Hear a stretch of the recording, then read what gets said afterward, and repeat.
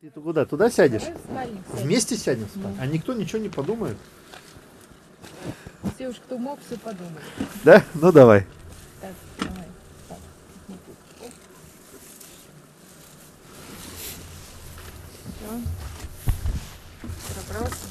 Значит, э, кто хочет посмотреть размеры спальника, мы с Ольгой его мерили. Мерили, по-моему, и рулеткой, и Ольгами мерили.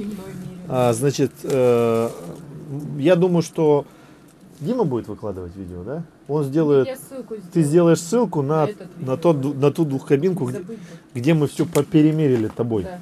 А ты влазила тогда? Сколько тебя влазило сюда? Одна. Ну вот сюда ты две влазишь. Точно. Я так вот примерно Длину по пропорциям, если взять вот эти твои пропорции, вот по ширине туда две, ширине две. А если еще вот тут длину больше. одна. Если еще стопками меня сложить, да? Так, что мы будем читать? Давай, вот мы это? снимаем как раз новый Урал Next, который мы все время сравниваем. Дорожный самосвал 6 на 4. Мгм. Вот. И Вовчик Шкелев написал «Доброго времени суток». Что касается лестницы, вот все с тобой согласны, на заднем борту решение не очень удачное, пишет он. Лучше бы сделали в передней части кузова, чтобы вылазя из кабины можно было попадать по лестнице наверх и смотреть загрузку. Привожу пример. Он, видимо, свой личный пример. Допустим, работаешь где-нибудь, где очень грязно, и чтобы попасть на кузов, надо идти по грязи к заднему борту, также обратно по грязи, тянуть грязь в кабину.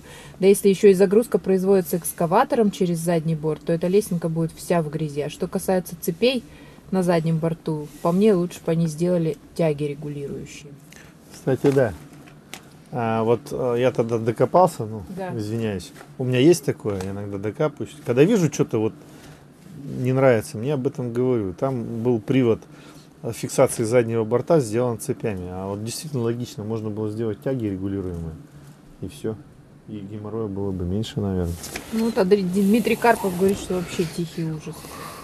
А тихий ужас у нас еще подписчик есть. А это Да, Дмитрий- нет, он про А, самосвал. вот про самосвал? Что первое, высота заднего борта только для писем. Второе, запоры, колхоз лютый.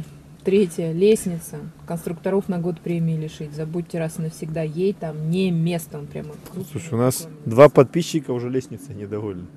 Нет, их на самом деле много. Больше? Да, просто тут Ну, давай этого почитаю. Значит, по вопросу открывания капота пишет Сергей Калинин. Должно открываться вперед полностью, как на американцах. Иначе обслуживать и ремонтировать двигатели агрегаты очень трудно. Кузов самосвала реализован ужасно. Гидроцилиндр посередине, и их два. В два раза больше проблем. Скос в заду, в пола и, очевидно, перегруз передней оси. Напомнила крас и зил совок. Ну, я там про цилиндром прошелся уже. То есть у нас из личного опыта, да, действительно, лучше передний цилиндр. Но, опять же, мы там сделали оговорку. Это кузов не нашего производства. А Вот, мы сразу изначально это сказали, Да. по-честному. Ну, Миха Винторез написал, что по поводу откидывающего капота, что не, это все не просто реализуется. Обратите внимание, сколько всякой навески находится спереди и по бокам. Все это придется переносить или на двигатель, что не предусмотрено вообще, или на консоли, что также будет мешать обслуживанию ремонта. Да и двигатели сейчас такие, что в поле пассатижами и чьей-то мамой не починишь. Это вот в защиту того, что открывание. Ну да, тоже прав. То есть каждый по-своему прав. Про цепочки Алексей Парамонов написал, что это механизм открывания бортов. При подъеме кузова цепочка натягивается и открывает замок. Скоммуниздили у китайцев, он пишет, а сделали, как обычно, по-нашему, через одно место. Крепковато на, это, на этот самосвал вот эта система. И если получится, возьмитесь за создание нормального кузова для этой машины. Ну, завод Урал посмотрит наше видео, почитает наших подписчиков и обязательно сделает. Да, Женя Зюкин э, хотел бы и ждет Урал увидеть в исполнении с термобудкой и спальником. После газона хотелось бы что-то покрупнее. Вот, ок, да? Нет, ку-ку-ку-ку-ку. Ку, в общем. Еще раз здрасте. Почему вы в кузов не заглянули? Как не заглянули? Хотелось бы посмотреть на задний борт. Заинтересовал тот момент, открывающая, открывающаяся часть две трети всей стенки. Что там снизу? Что там снизу? Там обычный кузов. Не Обычный. заглянули с тобой. А там ничего такого не было. Какой две, две, две трети? Там Ну, полноценно. даже не до конца показали, можно было хотя бы вниз, я так понимаю. А, ну там обычный, а, обычный, обычный кузов. Там не было ничего интересного. Да. Сергей Сергеевич, добрый вечер, ребята. А если у вас кон- контора, которая сможет сделать кабину с нормальным спа- спальником, а не ту ерунду, которую предлагает завод, имея в виду седельный тягач на 6 на 4. А чем вам не нравится?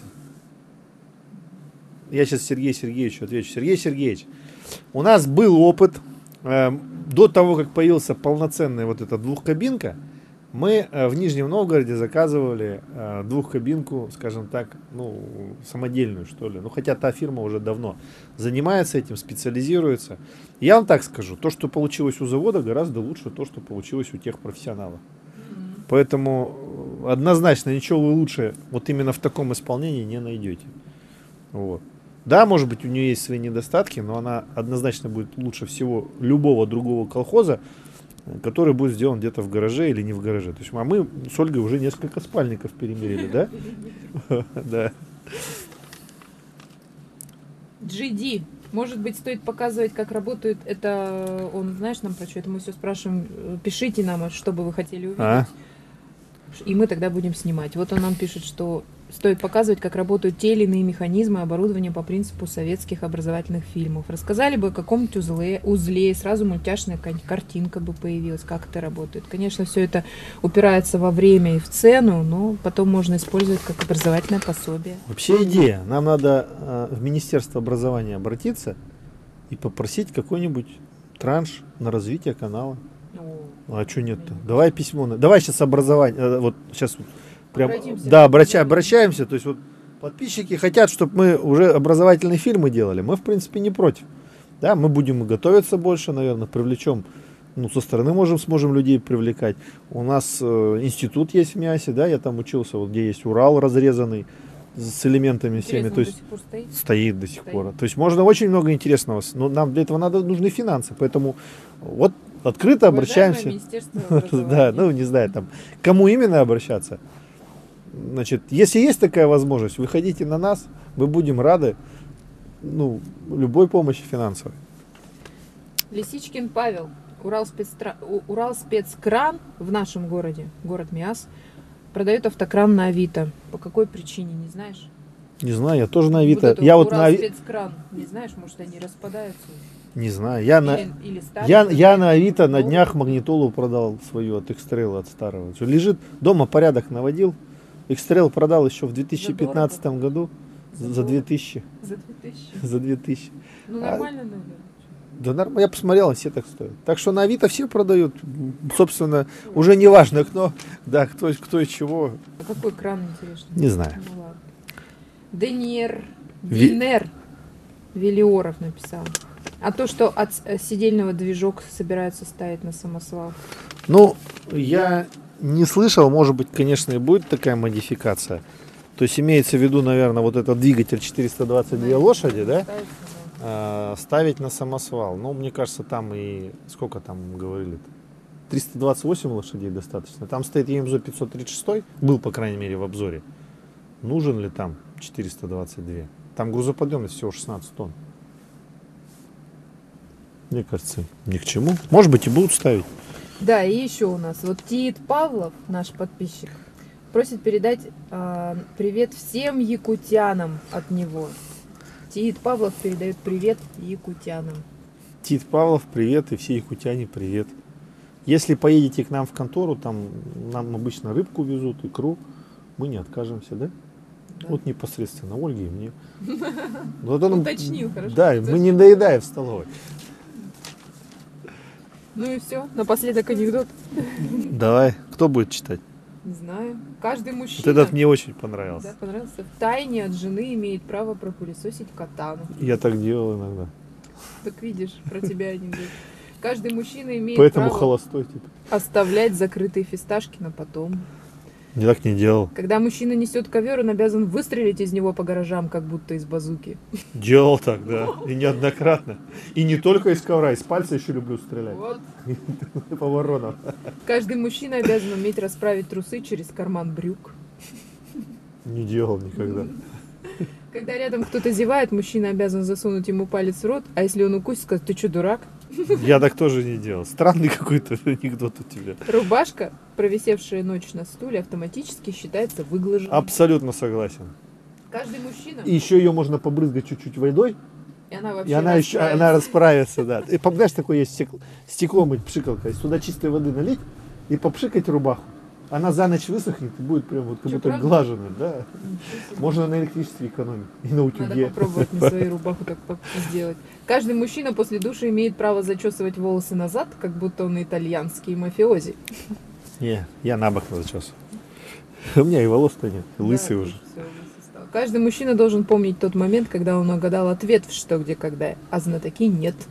Не помню. У меня телевизора нет, не смотрю. я. Каждый мужчина имеет право, если закончился шампунь, помыть голову гелем для душа. А, мужики, мужики, я такой от- открою секрет. Вот сразу видно, что это писала женщина. То есть каждый мужчина имеет право, если закончился шампунь, помыть голову гелем для душа. Я тебе другое скажу. У настоящих мужиков нету такого вообще. То есть гель для душа, шампунь. У них, У них всё одно просто- мыльное средство. Да, вот я иду когда в магазин, у меня что-то заканчивается, я просто покупаю пузырек, котором, то есть смотрю, чтобы он был подешевле по цене И побольше, и побольше по объему. объему и вонял не противно. Вот, вот. И голову, и руки, и носки стирают. Все мою, все стираю. Еще в качестве там ароматизатора в стиральную машину добавляю. Так что все универсально. Ну, в общем, вот такой анекдот. Подписывайтесь А, на а, канал. А еще есть у нас? Не знаю, вот это не надо? Не знаю, давай это Или это что? Подожди, подожди, дай я про- Цены у нас на лекарства теперь такие, что народ снова начал лечение самогоном и молитвами.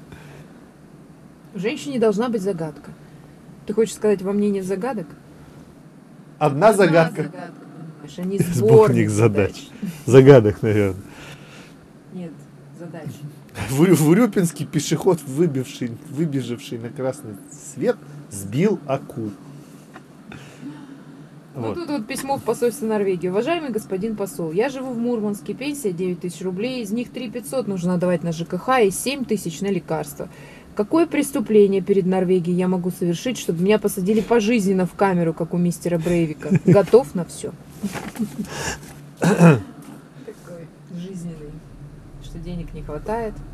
Да, их никогда не хватает. Ну ладно, не будем о грустном. Подписывайтесь на канал Урал Спецтранс. Не забывайте, у нас есть группа в Одноклассниках, ВКонтакте, в Инстаграм, в Фейсбуке, в Твиттере. Пишите нам, что хотели бы увидеть, мы будем снимать. Слушай, я тут так пригрелся, что Задавайте уходить не вопросы, хочу. ставьте лайки. Мы пошли дальше. Посидим Всем еще пока. маленько.